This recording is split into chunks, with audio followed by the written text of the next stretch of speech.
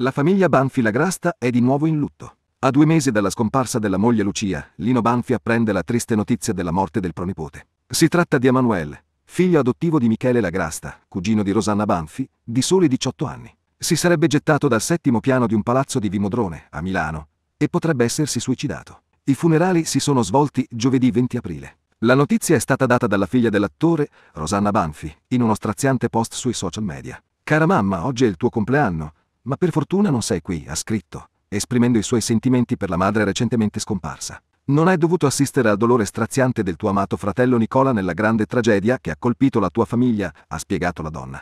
Tra le tante foto che ha visto nella sua casa, ricorda il bellissimo ragazzo che teneva tra le braccia, Emanuele. Aveva 18 anni quando ha deciso di intraprendere il suo viaggio di non ritorno, lasciando i suoi genitori e tutti noi attoniti, continua Rosanna. Mamma, ti prego di abbracciarlo come hai fatto allora e di prenderti cura dei ragazzi indifesi che questa società ha creato, incurante delle loro anime fragili. Madre, è sbagliato, non funziona così. Non sono credente, ma vorrei che ci fosse un Dio che potesse aiutare questa famiglia. Mi mancano.